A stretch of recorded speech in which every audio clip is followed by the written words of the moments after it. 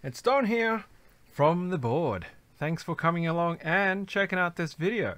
So in this video, we're going to be checking out the GammaKay LK67, which is a RGB hot swappable Bluetooth 65% programmable triple mode wired Bluetooth keyboard and there's a lot more in that description which you'll see in a moment. Uh, I want to say thank you to Banggood for providing this board for me to review.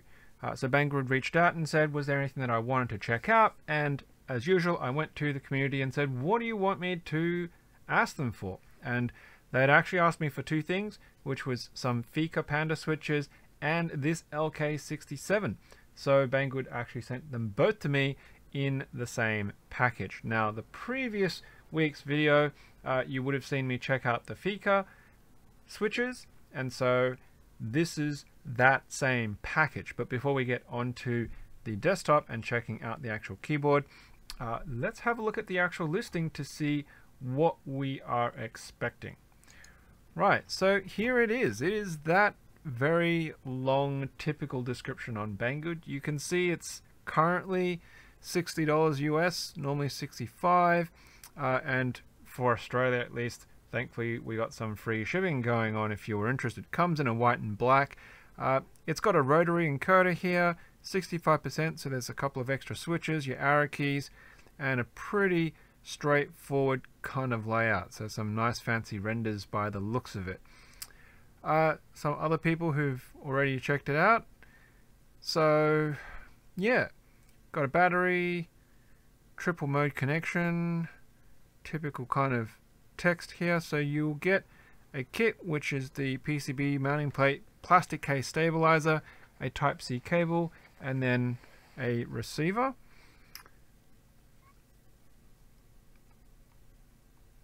So it's already seemingly pre-programmed as volume with a play pause button on it. So that's cool. Uh, has some side lighting, which looks cool. 4.8 degrees, pretty close to a standard 5 degree that we see in a lot of board designs. Uh, have no idea what that even means. I think that's trying to say NKRO, all keys without conflict. Might keep that up for quick reference later. Okay, so there does seem to be some software driving, but if you've been around on the channel, you know that I typically don't go into doing uh, looking at that. I look mostly at the actual form and how it feels and flex and sound because I'm not an RGB type of person. So, you know, you're going to have to go and check out some of the other videos probably if they're going to be poking at the software. Um, I will be checking out its connectivity using my daughter's tablet because my desktop doesn't actually have Bluetooth on it. Uh, I recently switched hardware and I didn't realize because my brother helped me with this new box that I'm running off that the motherboard actually doesn't have Bluetooth or Wi-Fi on it. Good stuff. Uh, so it's got a decent rating. There's a couple of different stars all the way down to a one star here as well. So that's what we should be seeing. Uh, and where's the hotkeys reference? There we go. I'll keep that on the page. Right here it is. So this is the package that I cut open the other week to get out the the Feker Pandas, which is what I will be using to put in here uh, to basically test what that sounds like. Uh, keycaps, I'm going to have to go and grab some keycaps and put them on as well, but that means uh, I will be splitting this video into those relative components, okay? So let's just get this out of the plastic. I literally did not take it out of the bag from between the Feker video and now. So this is my first impression of it. It did get a bit damaged. Uh, you can see how badly that got crushed because they had stuck this box on top of it inside the bag. Uh, so I am hoping the internals uh, are well protected. But it's a nice looking box it's typical gamer, I suppose. Um, I think what they're trying to say here with the special satellite access is that it's an MX switch support. Um, so there's just a model detail there. Separate keypad. Uh, well, it's not really I think they mean the arrows. Independent volume knob and nothing on this side. So let's get rid of that and slide out this poor box that's been beat. Uh, I had a uh, an SKU sticker here. 23rd of September is uh, the sticker there. 23rd of September. So it's actually uh, hasn't been sitting around on a shelf for very long. Okay. Dum dum dum. Whoa, not much protection on the top at all. Uh, absolutely nothing. And you can see it did get a bit of movement there. Uh, there's a, a card with some details in it. Okay, English, backlighting, backlight re recording mode. That's cool. I'm assuming that's going to have the cable in it, which, yeah. Is there a receiver? Ooh.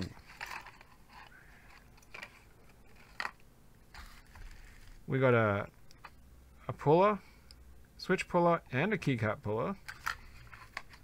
Oh no. Oh, yes. Oh.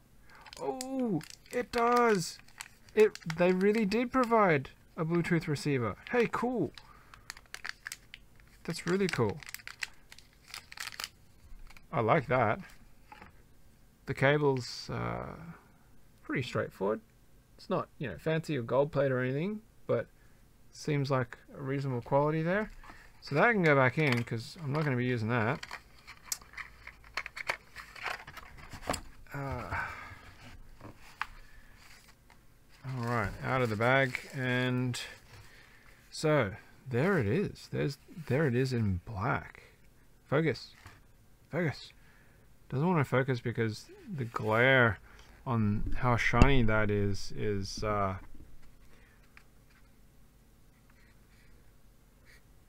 really helping to to not let it focus. So there's the knob with a bit of a like a color ring. Ugh, camera, why you do this to me? Okay, so there's a kind of like a color ring on it. It has stops, you can feel it, so it's not uh, stepless. It's got steps in it, and yeah, you can you can really hear that. It's quite a distinctive click there. You got some LED indicators there. You got caps lock uh, I have no idea what that is. It's it's like a like a camera? What is that? And then I mean that's caps lock. It must be Windows gaming lock or something like that. And oh that's the recording mode. That's the macro or lighting recording mode. Okay so it's interesting that they've actually got this, this silicon fill here, this grey bit here that I'm peeling up. That must allow you, that allows you to get the wire out. That's actually really cool because it's plate mount, right? So you can see the stabilizer wire there underneath the plate, that shiny bar. And this uh, allows you to pop in and pop out those stabilizers. That's actually really cool. I like that. And I can see it's actually got a layer of foam as well underneath the plate. Oh, that's cool. That's cool. Okay. So I'm going to bung that back in. Yeehaw. That fits in pretty well. Uh, let's have a look at the stabilizers, how they are. Well, they stay up, so it means there's lube. Yep, I can definitely see lube on this one there. You can see it right there. There's a, a big glob of lube. So they've got that lubed in. Yep, that one's lubed. That one's lubed. And that one's lubed. Cool bananas. Alright, so there's the side panel that's going to let some light out. There's the other one. It's got slots for light to come out the back. There's the actual data plate. There's no... Okay, so we've got a switch back here. So in the middle it's USB and then Wi-Fi on one side and then Bluetooth on the other side. So this receiver I think must be a wireless receiver rather than um, a Bluetooth. So I might still need the tablet, my daughter's tablet with Bluetooth capability. Okay, so let's just keep that on the side. Let's go with wired first. Um, I'm just going to pull out one switch so that I can actually test that uh, for the purposes of the fact that it's actually going to work. Okay. I can actually see the battery underneath there. There's this little yellow bit there, and that's like the Kapton tape. You can see the Kapton tape on the actual battery underneath it. Okay, so we're just going to carefully, carefully insert. Please go in. No? Yes? Oh. Why does that feel like it doesn't want to go in? There we go. Alright, hopefully that didn't bend the pins any.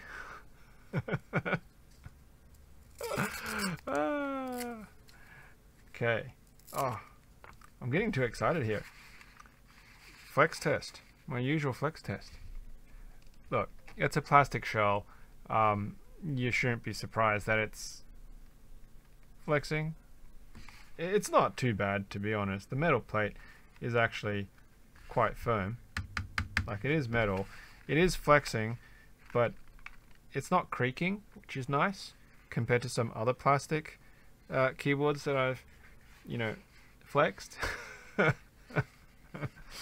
uh, though, if you try to spudge it, that'll be quite challenging because the seams are actually really tight on this. Um, yeah, so if you're going to have to change the battery out, I would say that... I don't know.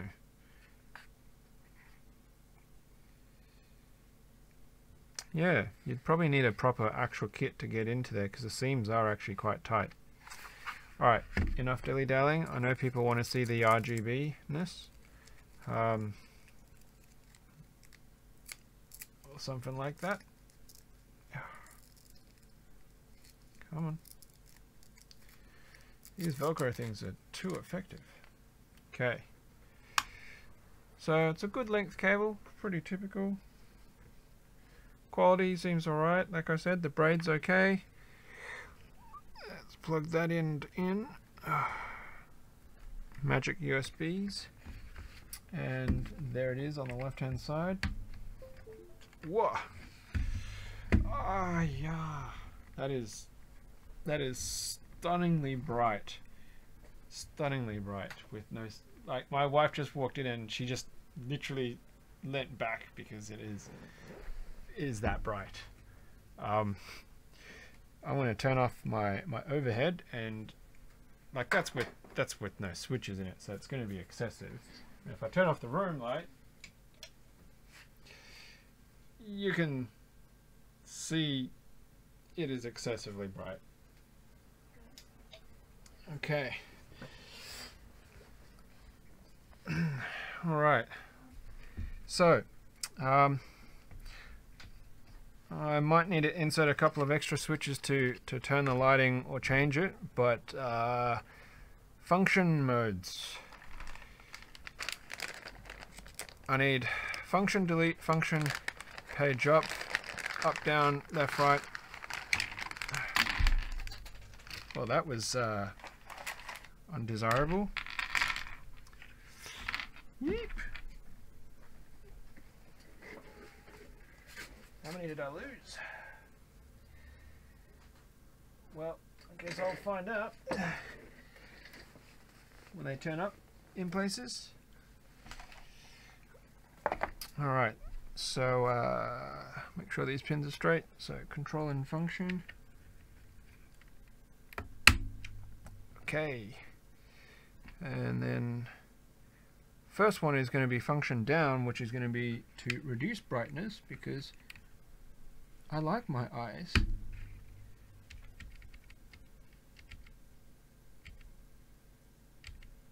Is that getting any less?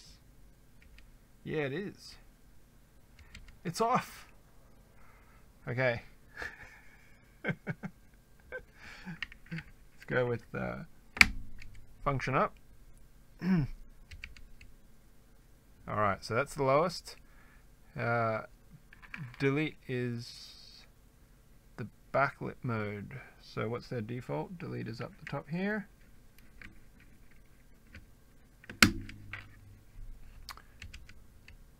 Okay, so there we go. We're getting a, a scroll pattern. Oh, okay, that's off, but the back is glowing.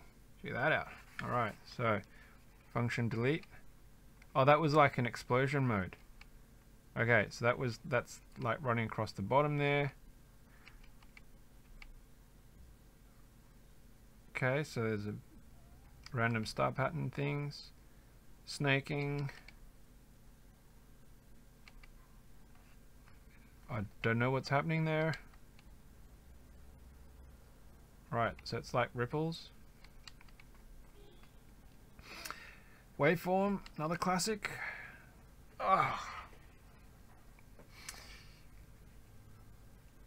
It's pulsing and shining and changing. Alright, so that's like explosive from the center. It's cascading, bouncing up and down. There's a lot of modes. Okay, there's your, your standard gaming, WASD kind of mode. Solid color. Single color pulsing. Changing. Waves that are going side to side. Explosion from per key. And I think we're back to the start. Yep, we are. Okay, cool. Uh, and then of course page down should turn it on, turn it off. Uh, page down, page up. So if I put in page up, page down.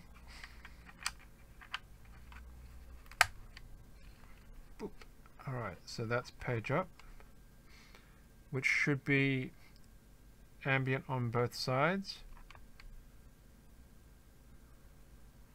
Alright, let's just change the mode to something that's full. Okay. I don't know if it's doing anything. Keypad. Maybe the software is designed for a full-size board that actually has a numpad. Alright, so page down. It's off. Oh, bliss. Okay, so we've just tested the lights. The lights are working. Um, the lights, the lights are working. Cool.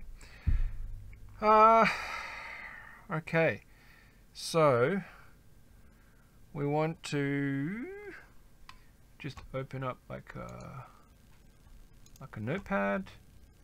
Let's just drag notepad over and then of course it should there's no reason why it shouldn't work but we're just gonna switch the monitor and oh. And my letter G works. Uh, yeah my letter G works because that's all I put in.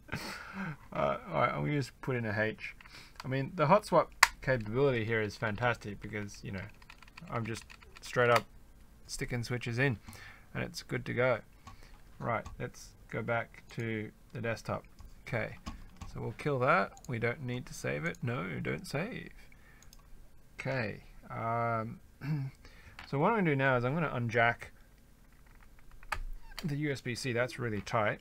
And I'm going to put in um, the Bluetooth. So Q, function Q is going to be Bluetooth 1 so we'll, we'll be able to pair it. Uh, long press three seconds to enter pairing mode is what we want. Um, Alright. Yeah, and then the Wi-Fi receiver. So you'll see I've got a little USB extender here. Um, so we'll give that a bell as well in a moment. Uh, this packet is openable from the top. Of course, I'm trusting that this device is not going to load some malicious code onto my computer, but you know what? That's that's the risk you run. It looks very similar to like, you know, a Logitech wireless receiver that I have for my, my mouse at work. So I'm just going to shove that in. My USB has detected something. Uh, the USB has not popped up with anything else. So, so that's interesting. Uh, so what I'm going to do there is I'm going to flick it over to USB mode. Okay, so we've got that light is green on USB mode. I didn't even look at what the light was doing before. And we'll go back to a notepad. We'll go to the right monitor, back to the notepad and G and H. Voila! Wow, that was that was really painless. So that was nice, pretty cool, pretty straightforward. Okay, so we'll kill off the notepad. No, don't save. Back to the desktop. We'll take that out because I don't need to leave that in. Receiver works. Easy test. Alright, so now we're going to go to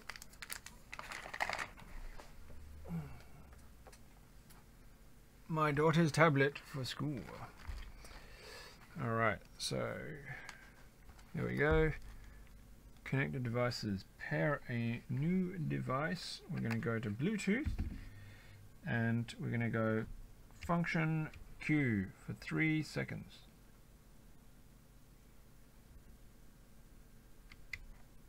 Uh, I mean, it's already got BT5 keyboard, BT3 keyboard.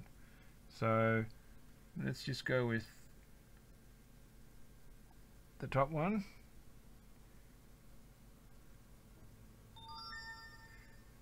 Uh, Kensu? No, I'm good, thank you. Alright, so that's paired, and I honestly don't even, let's just go up to here, to the Google bar. Alright, is it doing any? Yeah, there we go. Alright, so it's a little bit delayed, but you should see all these results coming up from the letter G and H. Alright, so I've just put in the backspace key, G, G, G, G, H, H, H, H, H. That was actually really, really easy. So if we go back to Bluetooth mode, we go to this and we disconnect that and we forget that, forget device. Right, let's try pairing a new device. And now uh, we're going to put in W for the second device.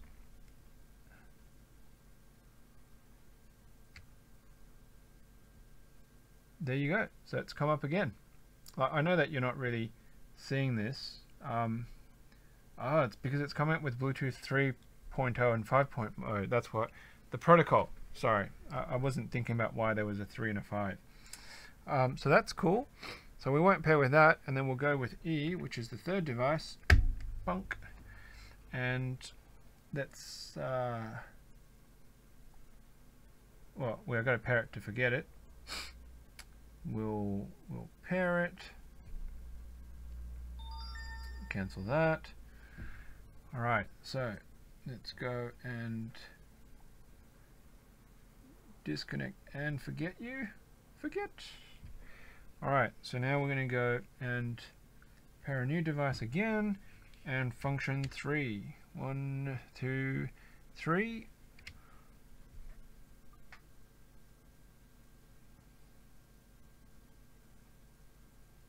Did it find you? It did not find you. Let's try again. 1,000, 2,000, 3,000. There you go. Okay, so we found it. Alright, so let's go to Bluetooth 5.0. Now, I didn't even try the volume dial previously on uh, wireless, but we'll see if it's actually, look at that. It's moving up and down. So that's cool. That's cool indeed. All right. Okay. Cool bananas. So I'm actually really happy with that. That was quite painless. And the Wi-Fi usage there was also very, very straightforward. Sweet. All right. Doop. Uh, how do I go to app switching? Okay, you can go, you can go, and then Bluetooth off, and tablet off, power off. Right, okay, so that will go back into the drawer in a momento, as long as it's turned off. Alright, so what I'm going to do there is I'm going to end the video now, um, and then I will proceed to put the rest of the switches in. I'll put some keycaps on it and then I can do a bit of typing on that uh, and so you can have an idea of what it sounds like and the impressions from me on actually typing with this keyboard. So we'll be back after the short splice.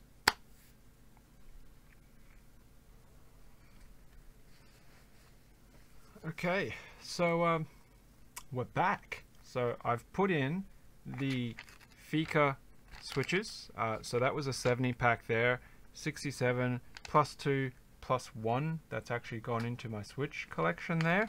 Uh, and what I've done is I've put on the uh, PBT Cherry Profile uh, Future Funk inspired set that I previously reviewed that was also a little bit controversial in the community because it's a inspired set. It's a clone. It's a copy, right? You know what?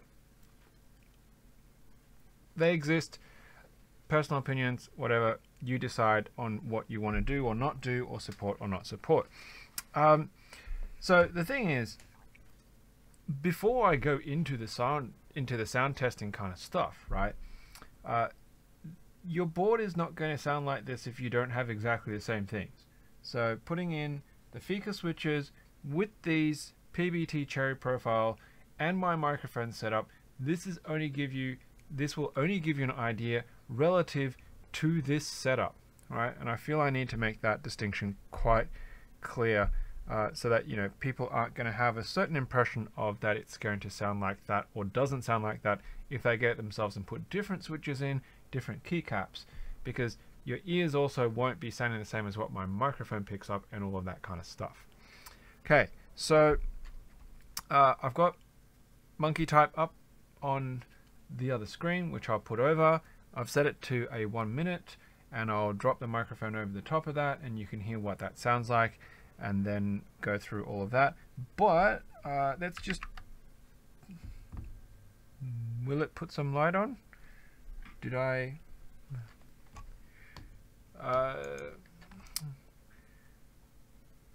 switch the backlit mode on off. Do I do I have lights? What have I done? It is in. No Yeah, okay.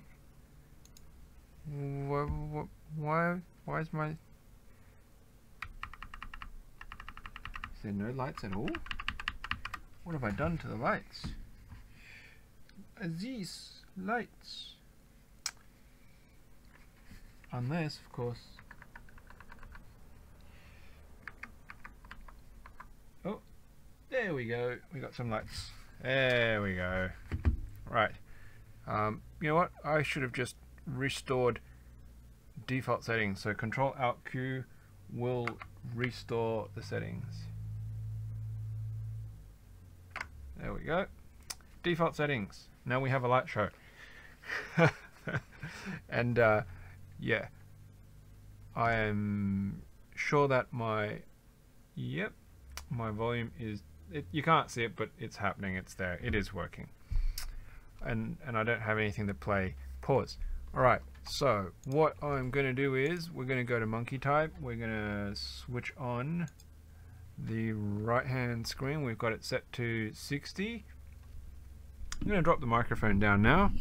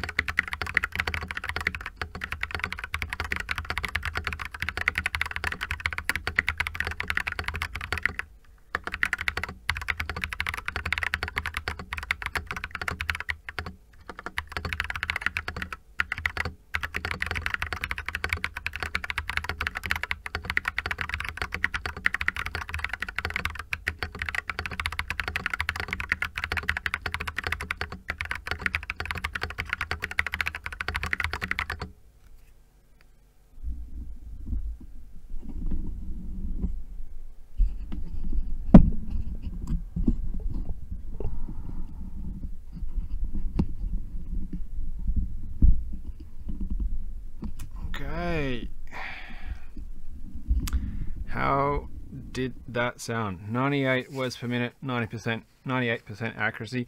Uh, that's pretty on par to what I kind of would expect that I might normally do. Pretty, pretty similar. All right, and then of course, uh, for you know, I don't know. I mean, you can definitely, I can see the sound is spiking on the recording there, but for me, you know, there's no ping, and it is actually quite a nice sound there for the spacebar. But I just had this crazy thought, right? So what I'm going to do is that silicon, I want to take the silicon out. I want to take it out so that I can hear what it sounds like.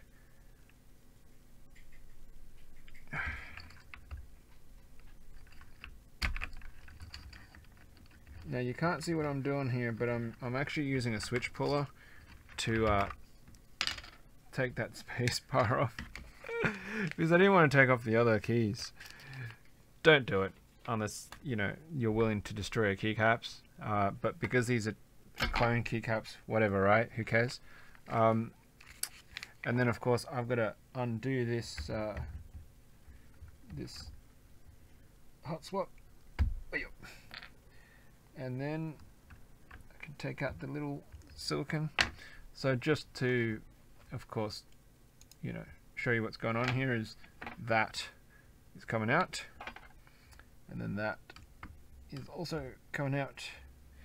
And then we can put that back in.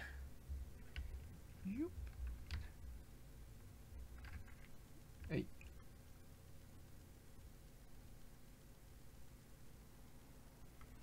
okay. Uh, probably shouldn't have been on the camera software there there we go. Alright. We're back. And then back over to this side. And then the space bar.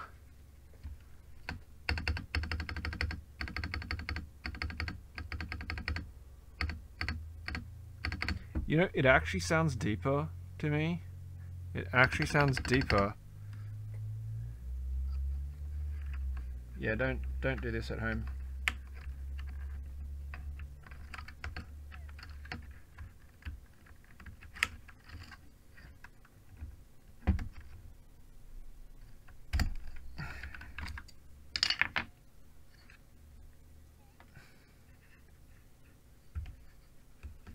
So you can fit them back in without having to pull the switch out, but you're not going to get it out without getting one end of it.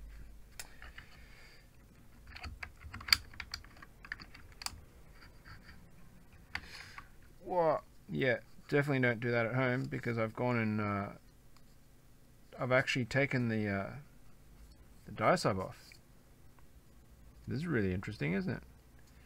The dye sub actually came off on these.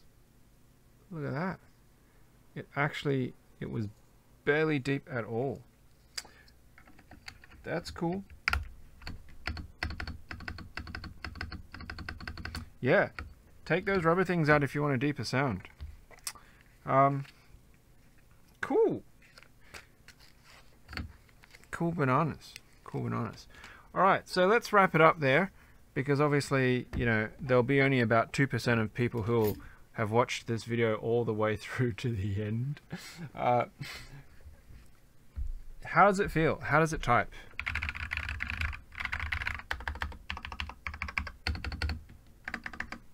It's comfortable. I like it. The angle is, is fine. It's familiar. It's very similar to my Filco. Having the Feker switches in it, it, it sounds really lovely with the Feker switches and these Cherry Profile PBTs. Um, ignoring the color scheme on it, it's not really relevant. Uh, you know, the response is is fine once I've actually got the keycaps on it, it's not blinding me with the RGB, but you know, for me, I'd probably still turn it off anyway, um, or you know, have it much lower in terms of color, since I'm not really an RGB type of person. As for the volume thing, it's not really a big deal for me because I don't change my volume very much. I would rather be able to cycle it for some other use, but if the software can do that, then that might be helpful for you. Um, but overall, I think for $60 US, it's actually a really neat little package. I'm actually pleasantly surprised by how it feels and how it packs. Like, it's it's really solid. Like, there is flex, don't get me wrong, but like, I'm pushing quite firm on that to get it. And just in my, you know, 100, well, 98 word per minute typing there, you can't you can't feel it at all. And you know, I bottom out quite firmly, but there is no real flex to that. Now, whether you like it hard or not, you know, is obviously up to you. But for me, that's actually quite comfortable to type. Okay, I'm going to end it there. Um, rating wise, I'd say a solid eight, maybe probably pushing even close to an 8.5. This is probably one of the better keyboards that I've actually reviewed in a really long time. And I would actually consider using this on a regular basis um, if I'm looking for something that's a little bit on the smaller form factor compared to uh, a full-size keyboard.